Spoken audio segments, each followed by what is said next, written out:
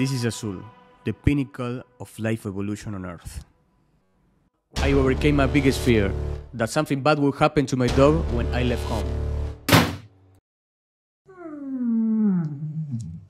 So I decided to put cameras around my house so I can monitor her from my mobile phone when I went out. But this created a bigger problem for me, that I was looking at my phone all the time to make sure that she was doing fine. So since I wasn't going to pay someone to watch the cameras for me, I started looking for smart cameras that can notify me when Azul does something.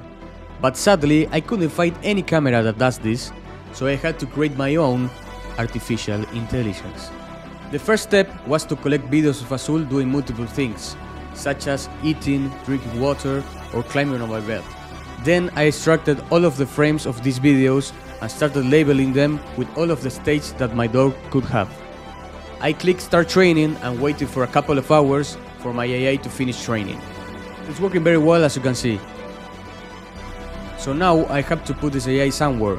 I decided to use my RTX 3090 GPU from Nvidia because it will process very fast the three cameras I have around my house.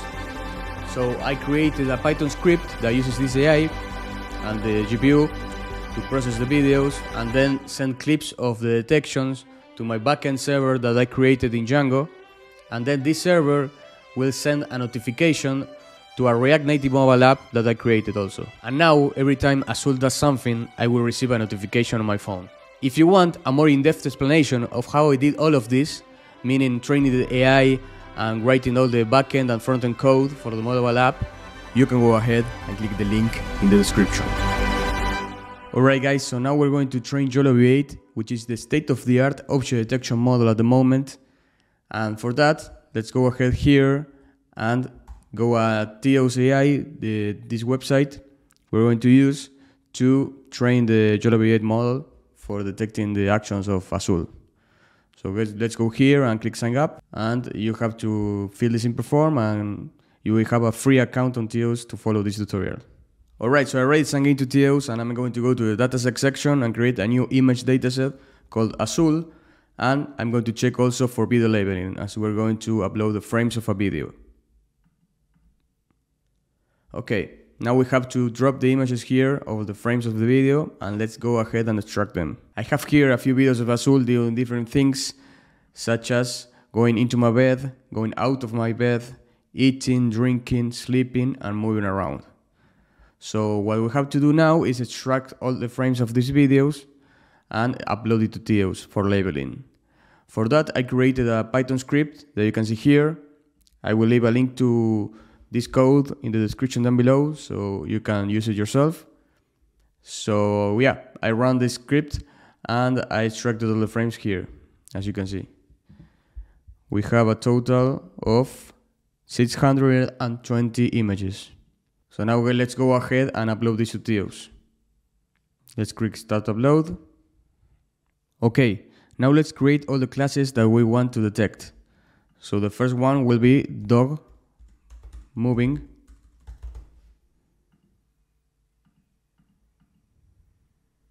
The second one will be dog in bed. The third one will be dog sleeping, dog eating, and dog drinking. Okay, so now let's go to the top here and click start labeling. Let's click the moving, the eating class, sorry. Now, as we have a very similar frames as the last one, we can uh, paste the labels from the previous frame into this one with Control M. And let's fit it a little bit move it around a little bit. Always make sure that the bounding boxes are very precise, encapsulating the object. So now let's press the E key to submit or click the button here. Now let's do it again. Hmm, that's pretty cool. Let's fix it a bit here. Again.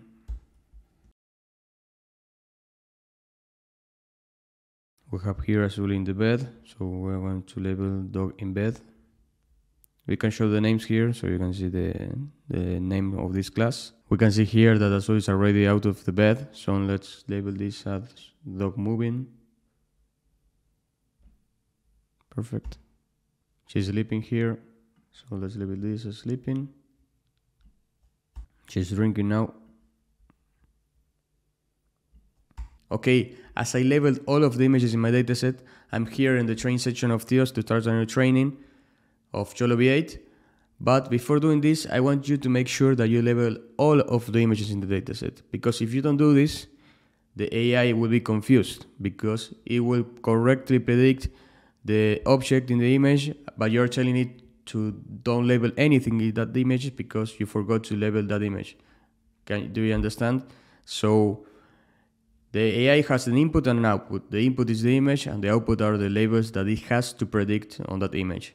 If you input the image uh, with some object inside of it and you don't label the object, the output will be wrong because you're telling, telling the AI to don't label the object in the image in some images and you're telling it to label the object in other images. So if you do this, the AI will be confused and it will, will work very, very badly. So make sure to label all of the images in the dataset before training. Alright, so now let's create the training session. Let's call this Azul detector. Select the dataset. We're going to select YOLO V8 Nano because it's the fastest version of YOLO V8, which is the best algorithm at the moment. As we want to process camera footage from security cameras in real time, we're going to use this Nano version. As you may know, in AI, you need to run it on GPUs because the parallelization of the GPU makes it so the training process is much much faster than running it on CPU. So on Theos, on the paid plans, we have here a few cloud GPUs that you can use to select it and then start training. But if you're in the free plan, you can go here and connect your own machine with Linux if you have a GPU uh, by running these commands on Python 3.10 at the moment. But if you don't have a GPU, you can use Google Colab.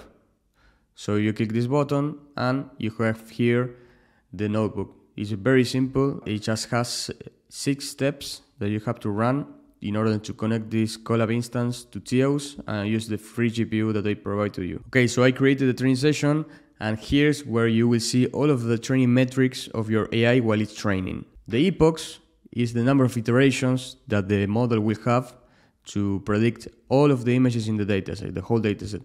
Once the model predicts all of the images in the dataset, that's one epoch. If you have 300 epochs, that means that the, each image in the dataset will be predicted 300 times, and with each iteration, it will be getting better and better at predicting those bounding boxes and classes. Metrics, you only have to see the fitness one because it encompasses many other metrics, and it will go up toward, towards one. So yeah, let's go ahead and leave all the other things like that and start training. Click start training here at the bottom right and your AI model will start training. Alright guys, so our AI finished training now. We can go ahead and click the download weights button. Here download the best weights and the class HTML file that will be used in the script that we're going to make now to process the cameras and detect Azul. Okay guys, so I cloned the Easy YOLO V8 repo that will be linked in the description down below so you can clone yourself. And now the next step is to drop the best dog weights file here and also the class HTML file. So we have them here, we're going to drop it right there and modify this to the best and best and classes HTML file. Let's set this to GPU. Now we have to create a streams.txt file. Streams.txt and here we set the URLs of our security cameras. As we have three, I'm going to set the URLs of each one. We have this streams.txt file now with the IP addresses of each camera that we have in the house. So now we can run this very simple script that I will show you now. The, the script loads the V8 model, load the weights and the classes to the device, which is the GPU.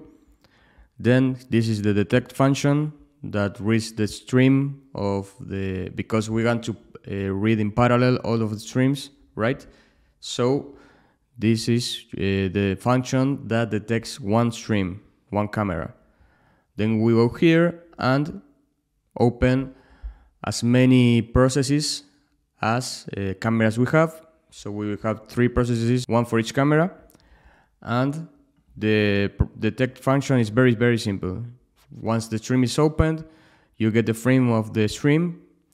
And if the frame is true, meaning that the, you have the correct uh, image, that is not corrupted, you process that you get the detections from YOLO V8, passing the frame to the detect function of YOLO V8. Then you draw the detections into that frame, and we can we show here uh, uh, a JSON output of the model, and also show the the result. This is very very simple. So perfect. Now I'm going to go ahead and show you the results of how we detected Azul.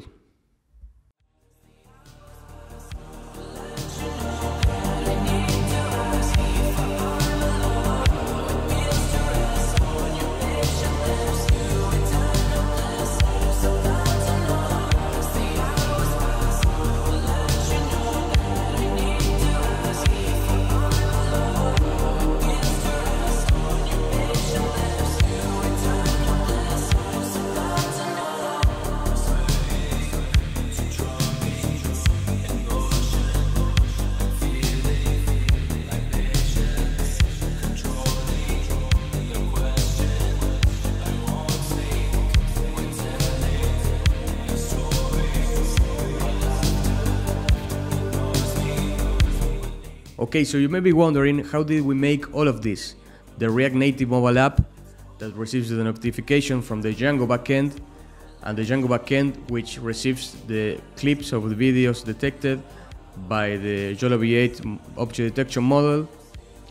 We're going to show all of this in a new course we're making called Theos AI University that will be launched in October precisely on the 20th of October. So if you want to get a 50% discount, click in the link in the description so you can register right now.